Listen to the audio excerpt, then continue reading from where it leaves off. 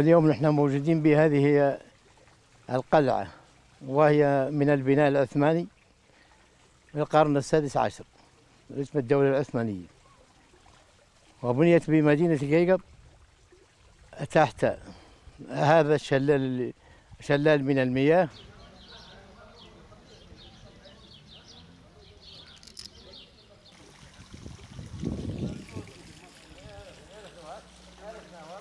كما تقول هذه تعتبر قلب الجبل الأخضر.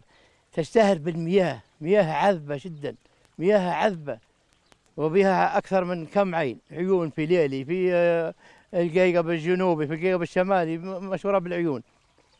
ومن حكمة الله سبحانه وتعالى. حتى زائرها دائما لما جيت تشرب من العيون في الصيف تعطي شوي تصقع في الصيف وفي الشتاء تبرد شوي المي. من ضمنها العين اللي موجودة توها الوقت اللي منها العين اللي تحت ال- المتحف هذه أو القلعة هذه.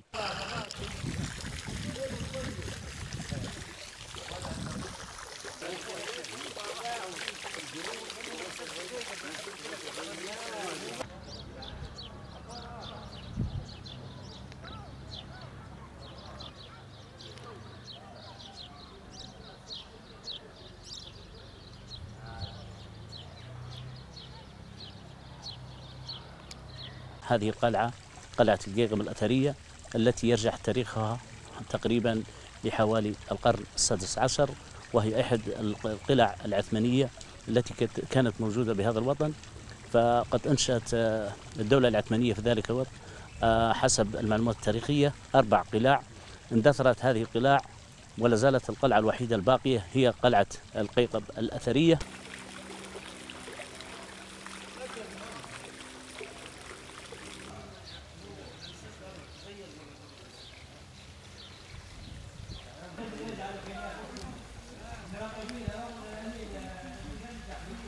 في عام 1911 وبعد خروج الدولة العثمانية ودخول الاحتلال الإيطالي استغلت آه، من القوات الإيطالية آه، حتى خروج هذه القوات ومن بعد ذلك تم استغلال هذه القلعة لمدارس تحفيظ القرآن وللتعليم.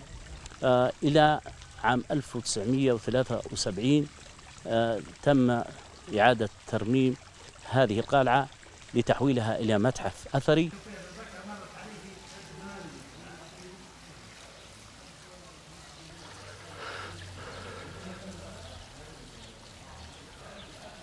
هذه ال- القلعة أو المتحف تعرض للإهمال والتخريب ورأينا كمجلس بلدي آه، لابد من إعادة هذه القلعة أو المتحف إلى سابق عصرها. لأنها تمثل رمزية لهذه المدينة وبالفعل بالتواصل مع مصلحة الآثار ومراقبة الآثار شحات واليونسكو.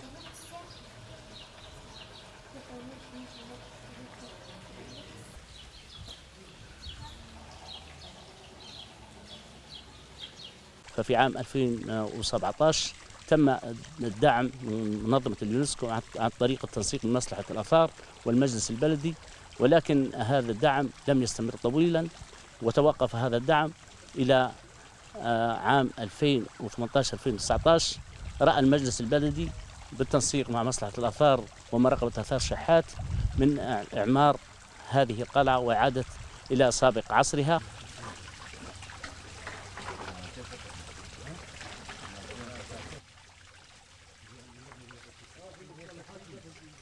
لك